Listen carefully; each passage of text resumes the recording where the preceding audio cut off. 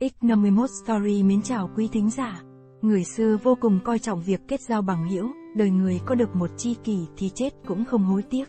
Quan trọng được Bảo Thúc Nha thấu hiểu tiến cử mà trở thành tể tướng nước Tề. Bá Nha và Trung Tử Kỳ chỉ nhờ một khúc, Cao Sơn Lưu Thủy, mà thành chi kỷ. Dự nhượng vì báo ân chi ngộ của chi bá mà bỏ cả tính mạng giết triệu tương tư.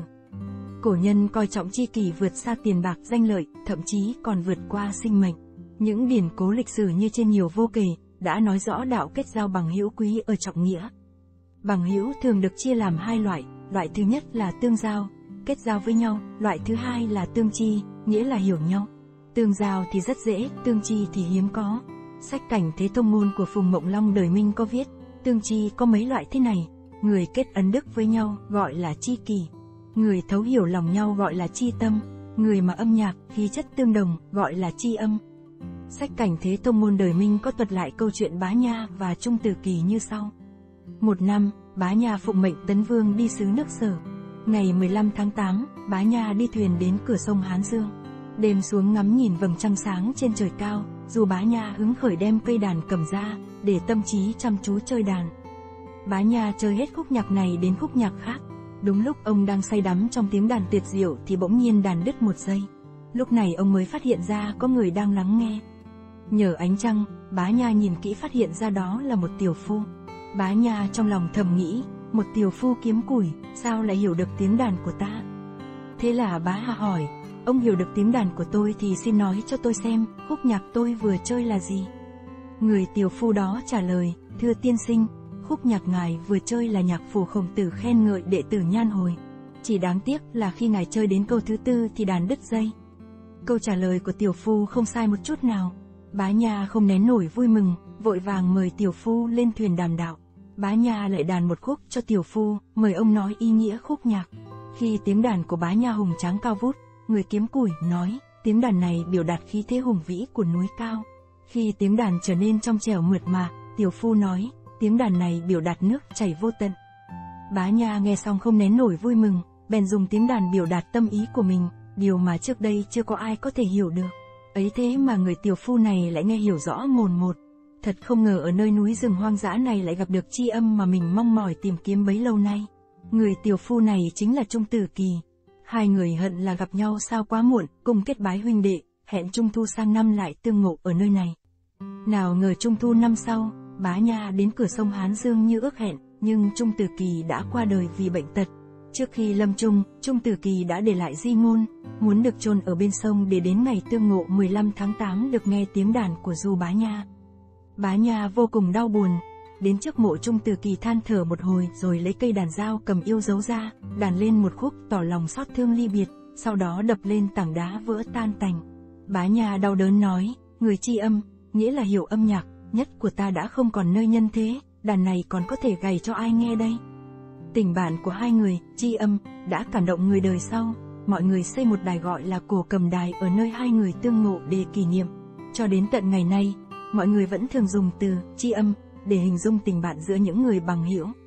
Sử ký thích khách liệt truyện có ghi chép câu chuyện như sau. Dự nhượng là người nước Tấn thời Xuân Thu.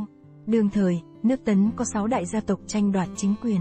Dự nhượng đã từng làm việc dưới trướng của gia tộc Phạm Thị và Trung Hành Thị nhưng đều không được coi trọng. Sau này dự nhượng đầu quân cho Chi Bá, được Chi Bá cực kỳ trọng dụng.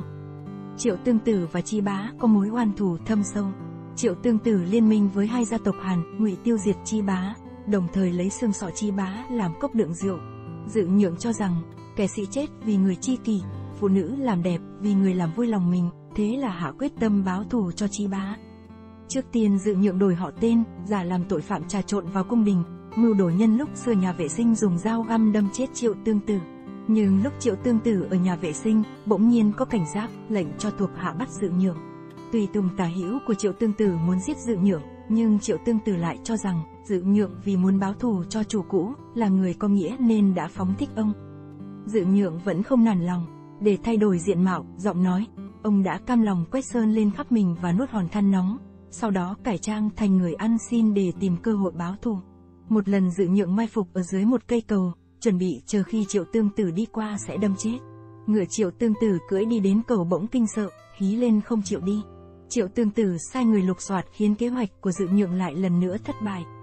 Sau khi bắt dự nhượng, Triệu Tương Tử trách mắng rằng, trước kia ngươi đã làm thuộc hạ của họ Phạm và họ Trung Hành, sau khi chi bá tiêu diệt hai gia tộc kia, ngươi không những không báo thù cho họ, trái lại ngươi lại đầu quân cho chi bá. Thế thì hiện nay ngươi cũng nên đầu quân cho ta mới phải, tại sao cứ nhất định phải báo thù cho chi bá? Dự nhượng nói, khi tôi làm thuộc hạ cho họ Phạm và họ Trung Hành, họ hoàn toàn không coi trọng tôi, coi tôi như những người bình thường khác.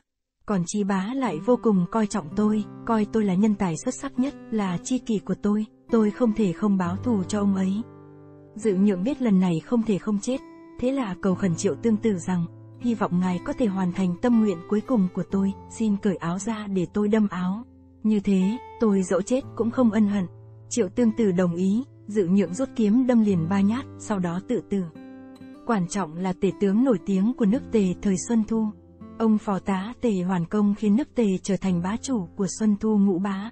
Bảo Túc Nha là đại phu nước tề, nổi tiếng là người giỏi nhìn nhận người. Hai người là bằng hữu thâm giao.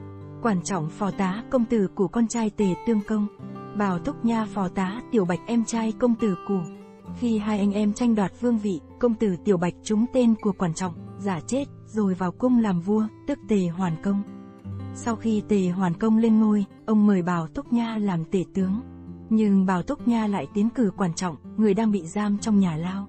Tề Hoàn Công tiếp thu ý kiến của Bảo Túc Nha, mời Quản trọng làm tể tướng. Kể từ đó Quản trọng chấp chính ở nước Tề, giúp Tề Hoàn Công xưng bá. Sau này Quản trọng nhớ lại rằng, khi ta nghèo khổ, cùng đi buôn bán với Bảo Túc Nha, lúc chia lời lãi, ta luôn lấy nhiều hơn nhưng Bảo Túc Nha chưa bao giờ cho là ta tham lam, vì ông ấy biết ta chỉ vì nghèo khổ thôi. Ta cũng đã từng mưu sự cho Bảo Túc Nha, nhưng trái lại làm cho ông ấy khôn đốn thậm tệ, rơi vào cảnh khốn cùng. Bảo Túc Nha không cho rằng ta ngu đần, vì ông ấy biết thời vận lúc thuận lợi, lúc không thuận lợi. Ta đã từng ba lần làm quan thì cả ba lần đều bị quốc quân đuổi đi. Bảo Túc Nha không cho rằng ta không tốt, vì ông ấy biết ta chưa gặp được cơ hội tốt. Ta đã từng ba lần đánh trận thì cả ba lần đều bỏ chạy. Bảo Túc Nha không cho rằng ta nhát gan, vì ông ấy biết nhà ta còn mẹ già cần chăm sóc, phụng dưỡng. Công tử cù thất bại, triệu hốt đã tuẫn tiết theo, ta bị tù chịu nhục nhã. Bảo Túc Nha không cho rằng ta là kẻ vô liêm sỉ, vì ông ấy biết ta không cảm thấy tủi hổ chỉ vì tiểu tiết, mà chỉ cảm thấy sỉ nhục khi công danh không nổi danh thiên hạ. Người sinh ra ta là cha mẹ, nhưng người hiểu ta chỉ có Bảo Túc Nha mà thôi. Trước khi quản trọng lâm chung, Tề Hoàn Công có hỏi quản trọng rằng, Bảo Túc Nha có thể thay Khanh làm tể tướng được không? quản trọng trả lời, không được, vì Bảo Túc Nha thiện ác phân minh, không thể bao dung được mặt xấu. Nếu giao chính quyền cho ông ấy thì sẽ hại chúa công và hại cả ông ấy. Sau khi Bảo Túc Nha biết được chuyện này, không những ông không bất mãn vì quản trọng không tiến cử ông, trái lại còn vui mừng nói, chỉ có quản trọng mới là người hiểu ta nhất. Liêm Phạm là người sống trong những năm Vĩnh Bình thời Bắc Ngụy. Thái thú Thiểm Tây Đặng Dung từng vời ông đến bổ nhiệm làm công tào. Không lâu sau, Đặng Dung bị tố cáo liên quan đến một vụ án. Liêm Phạm biết sự vụ này phức tạp, khó mà giải quyết nổi nên dự định dùng phép biến tông để trợ giúp Đặng Dung. Ông lấy cớ bị bệnh xin từ chức. Đặng Dung không hiểu được dụng ý của Liêm Phạm nên rất căm hận Liêm Phạm, cho rằng ông vong ân bội nghĩa, đã rời bỏ Đặng Dung đúng lúc ông ta lâm nạn.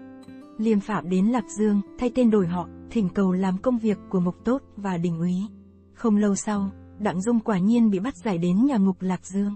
Lúc này Phạm Liêm được làm lính coi ngục, hầu hạ bên Đặng Dung, dốc toàn tâm trông nom chăm sóc ông ta. Đặng Dung thấy tướng mạo của ông rất giống Liêm Phạm, nhưng hoàn toàn không thể ngờ rằng đó chính là Liêm Phạm. Thế là Đặng Dung hỏi, sao ông trông giống người công tào của tôi trước kia đến vậy? Liêm Phạm mắng ông ta rằng, ông bị giam cầm ở đây, thần trí đã loạn chưa vậy? Sau này Đặng Dung được bảo lãnh xuất ngục, vừa nghèo khổ vừa bệnh tật, Liêm Phạm vẫn luôn ở bên Đặng Dung để chăm sóc.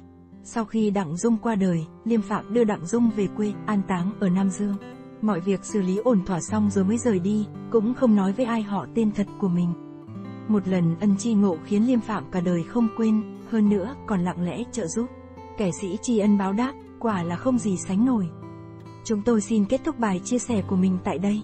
Xin chân thành cảm ơn các bạn đã dành ra thời gian quý giá để lắng nghe bài chia sẻ này.